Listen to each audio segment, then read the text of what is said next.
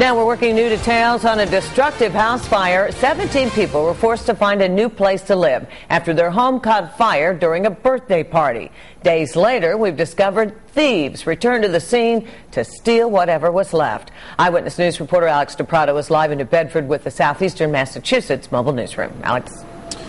Well, Karen, there was one apartment in this building that was really hit hard by these thieves. It's where a mother and her six children live. The fire, now the thieves have been a one-two punch. And we just heard like a psh, and it was like a sounded like a backdraft, like wind. And we turned around and looked, and the the grill was on fire, and it was catching to the house and within 20 seconds it was all the way up at the roof. It was a grill fire during a birthday party Saturday for two of Jessica Jongalides' boys, which did the damage to her Acushnet Avenue home. What we didn't lose in the fire, we lost to people stealing. But while she and her six kids were staying at a friend's home, thieves went to work.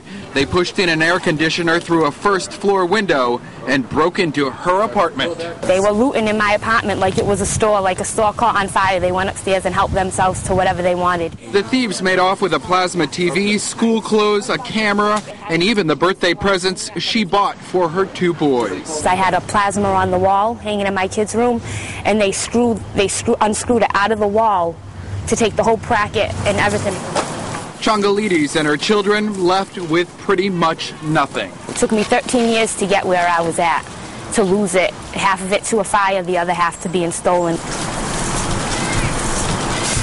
The Salvation Army is collecting donations for the family. It's located at 619 Purchase Street here in New Bedford.